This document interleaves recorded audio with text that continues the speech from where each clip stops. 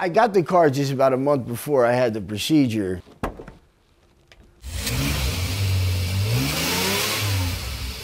I used to wear a, a, baseball hat or a bandana. Driving now, I, I, feel good. Like everybody else, I've seen it on television.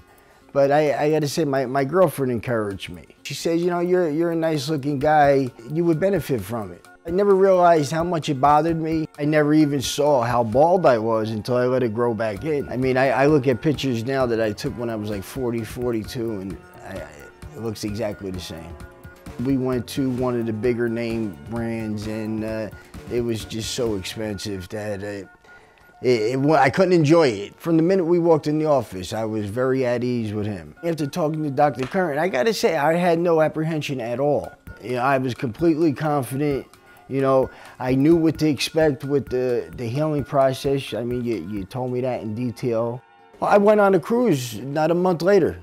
Good results, I'd say, between four and six months. Between three and four, and then between four and six, it just, just sprouted.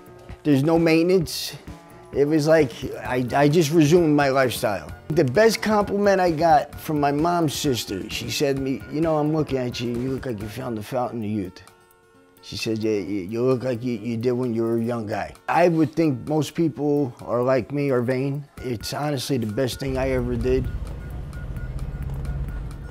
Get started today by clicking the free virtual consultation button at the top of the page to fill out your free form. Also, make sure to sign up for the Treasure Coast Hair Restoration newsletter at the right of the page to receive the latest news in hair restoration, free educational videos, monthly specials, and much more.